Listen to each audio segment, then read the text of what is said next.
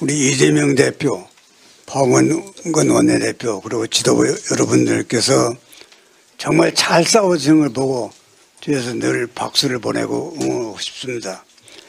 저는 이번 노인위원장 선거에서 61대 31로 당선됐습니다.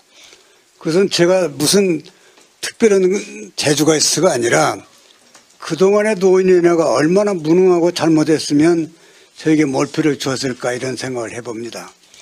아홉 평 남짓한 노인위원회 방에서 한 달에 150만 원 가지고 노인 몇 살이 밥이나 먹고 끝나는 이러한 실태를 했습니다. 그래서 전번 선거에서 이재명 후보는 30.8% 노인표를 얻어가지고 윤석열의 반절도 얻지 못해가지고 아주 석패를 했습니다.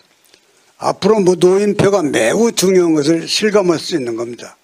국회의원 선거에서나 대통령 선거에서 노인표는 매우 중요합니다. 그렇기 때문에 저를 뽑아준 우리 노인 당원들, 권리당원들에게 보답하기 위해서라도 저는 앞으로 노인 조직을 더 확대하고 각 시도별로 순회하면서 노인 연수를 통해서 아주 당원들을 더욱 튼튼하게 만들고 싶습니다. 그래서